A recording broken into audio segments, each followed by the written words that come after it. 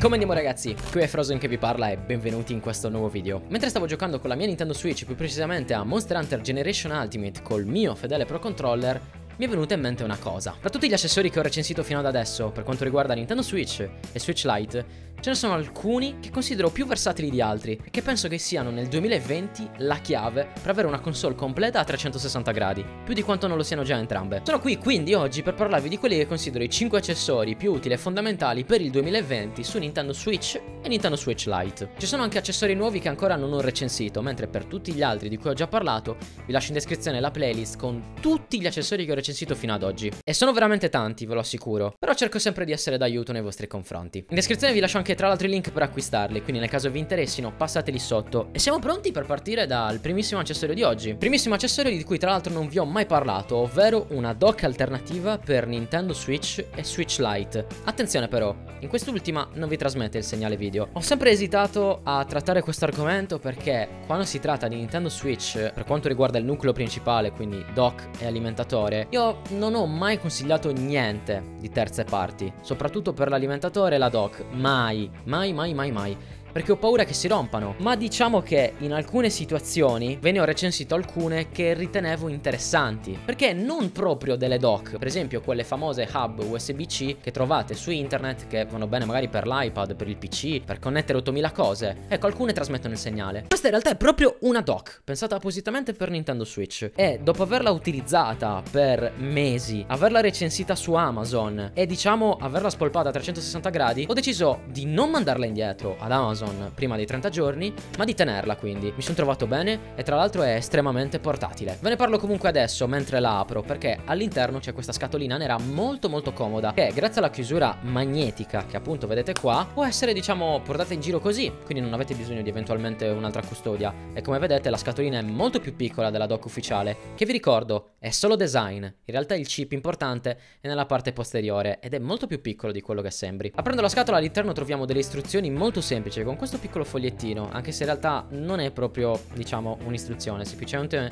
un reminder di come si usa, un reminder penso si dica. Ed eccola qui la dock, decisamente piccola, ci sta veramente in tasca. E la cosa più comoda è che questo qua è magnetico, basta semplicemente girarlo, metterlo così e abbiamo letteralmente la nostra dock. Non abbiamo bisogno di altro, se non appunto dei cavi base di Nintendo Switch. È molto comoda perché sì, può essere utilizzata anche con Nintendo Switch Lite e no, non per trasmettere segnale video come vi ho detto prima, non potete, ma per avere delle porte extra, o per esempio caricarla e nel frattempo utilizzare un Pro Controller, o tantissimi altri motivi. Nella parte posteriore di questa dock, come state vedendo adesso, c'è l'ingresso per il cavo USB-C, un'entrata USB e ovviamente il cavo HDMI, oltre che tra l'altro un fantastico bottone per entrare in modalità docked. E come potete intuire è letteralmente tutto quello che ci serve, perché da uno alimentiamo la console e la dock, dall'altra trasmettiamo il segnale video alla TV e dall'altra possiamo collegare eventualmente un cavo USB per avere un controller o caricare il pad o qualsiasi altra motivazione. Qualsiasi cosa va bene. E diciamo che rimane molto elegante perché si può chiudere facilmente grazie appunto a questa cosa magnetica che se volete potete toglierlo ma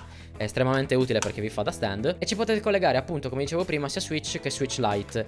E in entrambi i casi se avete delle cover abbastanza sottili potete utilizzarle comunque. Attenzione però, dovete avere delle cover adatte. Io per esempio nel caso di Nintendo Switch utilizzo una cover talmente sottile che entra anche nella dock ufficiale. Quindi abbinata non a un vetro temperato perché è troppo grosso, ma una pellicola protettiva, diciamo che mi permette sempre di proteggere entrambi i lati della console senza rovinarla. E in questo caso diciamo che è la stessa cosa, perché parzialmente la console rimane comunque protetta, perché la parte che entra è l'unica che rimane scoperta. Dall'altra parte non c'è bisogno di niente, perché comunque Tocca soltanto il retro della console. E di Gulikit. E nella parte posteriore qua vediamo alcuni dettagli importanti per quanto riguarda voltaggio, eccetera, eccetera. Tra l'altro è gommata ed evita che la cosa slitti. Cosa ottima, perché non tutti ci pensano. E al prezzo di circa 30 euro è, a mio parere, l'alternativa migliore fra tutte le dock sul mercato. Perché guardando il sito del produttore, ma soprattutto guardando la pagina Amazon dove l'ho recensito e dove ho letto tutti quanti i dettagli prima di comprarlo, sono rimasto felicemente sorpreso dalla qualità appunto del produttore, perché comunque non è la prima cosa che fanno a tema Switch. ma ce ne sono tante altre. E un'altra la tratteremo adesso. Ci spostiamo quindi verso il secondo accessorio di cui parliamo oggi, ovvero un trasmettitore Bluetooth o connettore Bluetooth, possiamo chiamarlo così, per collegare le nostre cuffie, appunto Bluetooth, a Nintendo Switch e Nintendo Switch Lite. Questo in realtà l'ho già recensito, quindi non ci sarebbe granché da dire, potete trovare il video apposito, ma farò anche qualche menzione nel video di oggi. Allora, prima di tutto ovviamente lo apriamo e vediamo che subito c'è la plasticozza, la custodia qua, con cui possiamo portarlo a giro, anche se francamente non ho mai avuto problema, perché essendo talmente piccolo si collega sotto la console e può essere messo dentro la custodia, se non è troppo aderente. E ci sta, sta tranquillissimo, sia Switch Lite che Switch Standard. Fantastico. La cosa fighissima è che si alimenta tramite la console, quindi non ha bisogno di batterie o cose esterne. Lo metti,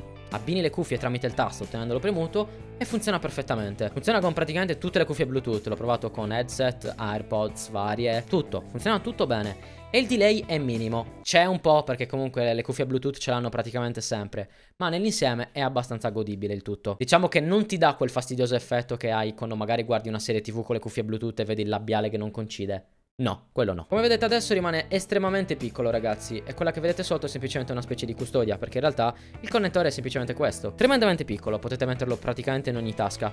E come se non bastasse, avete anche questo che vi permette di collegarlo alla dock. Quindi entrata USB, dall'altra USB-C, lo collegate e siete a posto. Anche in modalità docked potrete quindi gioire del non usare appunto il cavo con le cuffie, è una cosa odiosissima. Penso che questi siano gli accessori più interessanti per Switch, questi primi due, perché sono cose che francamente un po' tutti quanti utilizziamo. Tra l'altro la GuliKit ne ha fatto un altro di questi datatori e l'altro ha anche la possibilità di utilizzare il microfono, perché questo purtroppo no. Non potete utilizzare il microfono con questo soltanto le cuffie. Ma vabbè, diciamo che sono determinate rinunce, perché questo costa intorno ai 25-30 euro, mentre l'altro 42, differenza sostanziale. Un altro accessorio di cui vi voglio parlare, tra l'altro, è il Pro Controller ufficiale di Nintendo Switch, praticamente l'unico controller che utilizzo insieme all'altro della Hori. Con quello di Hori mi trovo meglio per quanto riguarda la dimensione sul lungo periodo, ma per partite al volo va benissimo anche questo qua, perché comunque cioè vorrei ben dire, quello ufficiale non deve dare mezzo problema e tranquilli, non ne dà. Prezzo circa 60-70 euro, 70 al lancio, 60-55 adesso, lo si trova tranquillamente anche di meno. È il miglior controller ovviamente su Switch, ingresso USB-C, la batteria dura circa 20 ore con due di ricarica. Sono due analogici che non sono simmetrici per fortuna. Croce direzionale, tasti A, B, X, Y, doppio dorsale da una parte, doppio dorsale dall'altra, quindi abbiamo R, L, ZL e ZR. E i dorsali non sono a grilletto ma sono semplicemente a bottone. Per alcuni è un vantaggio, per altri altri uno svantaggio, dipende dai vostri gusti. Io francamente li preferisco così perché non mi piace una corsa troppo prolungata del tasto, mi fa un po' male alle mani alla lunga. Però penso che siano fantastici i Pro Controller, ne ho la bellezza di 4, ce li ho tutti, manca teoricamente solo quello di Splatoon, ma vabbè. E diciamo che non lo cambierei per nulla al mondo. Va bene anche su Switch Lite, diciamo che se lo accoppiate per esempio a questa dock potete giocare in modalità tavolo, però francamente con una spesa del genere fate prima a prendervi il modello Switch standard.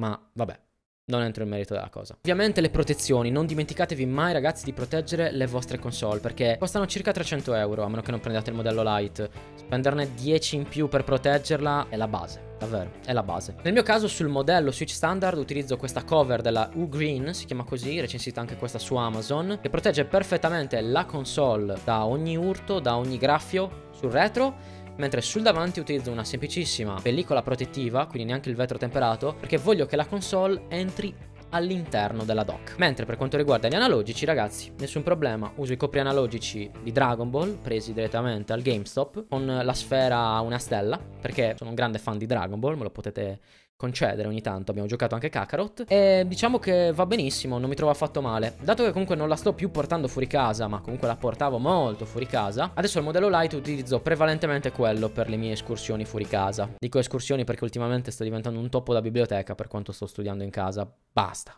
Basta. Per il modello light uso semplicemente due cover protettive della Hori. Una in realtà non è una cover protettiva, ma è tipo una custodia per portarla in giro. L'altra invece è una cover protettiva di quelle ciccionissime, grigia e dietro è pure trasparente. E ci sta veramente da dio, è fantastica. Protegge bene la console, non ci sono problemi di urti o cose del genere. E sul davanti invece utilizzo una pellicola protettiva, ma potete utilizzare anche un vetro temperato perché non deve entrare in nessuna dock, quindi non avete problema di grossezza. La custodia è semplicissima della Hori. Nel caso vogliate risparmiare comunque ci sono quei kit da 10-15 euro con custodia, cover in silicone, vetro temperato o pellicola protettiva, quindi spendete poco e proteggete tutto. E logicamente ricordatevi di prendere anche i proteggi analogici se giocate molto spesso determinati giochi con cui sfregate molto perché il sudore si vede alla lunga rovinate il colore della console. Lo so che sembra strano, ma è così. A me non costa nulla, quindi ve lo dico. E chiudiamo in bellezza ovviamente con le micro SD, di cui lo stesso non ho mai fatto un video apposito, ma arriverà il prima possibile. Vi parlerò sia delle micro SD che ho sul modello standard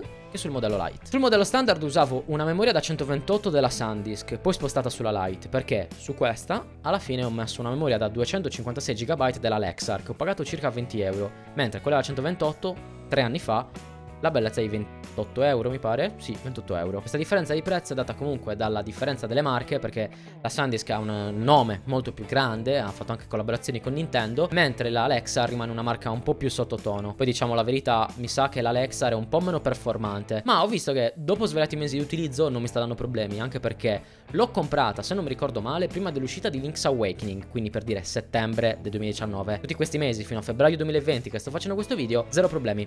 Va è una bellezza. E ho tantissimi giochi installati. Ve lo ricordo perché comunque io gioco prevalentemente in digitale, giochi fisici ne ho pochi. Sulla Lite niente da dire perché comunque 128 giga sono più che sufficienti. E nulla, mi trovo molto bene con entrambe, tranquillissimo. Ma ovviamente con tutti gli accessori che ho recensito fino ad adesso. Anche quelli che magari sono nella playlist e non nel video di oggi. È stato divertente fare questo video. Non ho avuto copione e ci sono andato serenissimo perché ho talmente tanto spesso sotto mano queste cose che ormai so quasi a memoria cosa dire alle persone che non conoscono questi oggetti. Arriverà sicuramente in futuro una recensione più approfondita della doc, quindi non preoccupatevi, soprattutto delle micro SD. E tra l'altro vi devo parlare anche di che cosa ho all'interno di Switch Lite, perché non vi ho fatto ancora il video su quell'oggetto. In descrizione vi ricordo che vi lascio tutti i link per acquistare questi oggetti, logicamente anche la playlist di tutti quanti gli accessori che ho recensito, e devo pensare dove mettere questo video, se nella playlist degli accessori o delle top 5. Ci penserò strada facendo. Detto ciò ragazzi io vi ringrazio infinitamente della visione e vi aspetto prossimamente in un nuovo video qua sul mio canale, non mancate assolutamente, trovate ovviamente in descrizione tutti anche i social socials